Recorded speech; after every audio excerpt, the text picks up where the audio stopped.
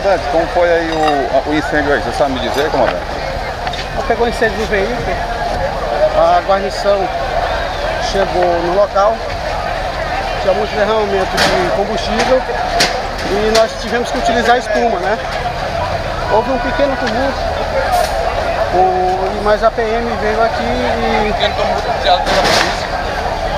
Um pequeno tumulto aí entre os policiais aí e uns estudantes aí. O que foi como tumulto? Assim, não, qual não sei, não entendi não. A função aqui do bombeiro foi extinguir incêndio, né? Extinguir incêndio. Foi o que nós fizemos.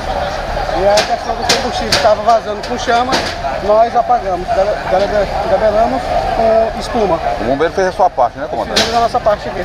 E teve algum princípio de confusão com os estudantes no momento aí? Não, não. Até onde eu soube, realmente ele estuda comigo, o que foi preso. Até onde eu soube, ele não tinha feito nada. Ele simplesmente encostou no carro de bombeiros e teve essa situação toda aí. Até arma apontaram aqui. E na hora do incêndio, ninguém viu como foi que aconteceu não, o incêndio? Não, não vi exatamente. Ele estuda dia, ele trabalha o dia todo. Cara que vem pra faculdade fazer direito, o esforço que não é pra poder estar bem aqui pra ser humilhado a esse ponto.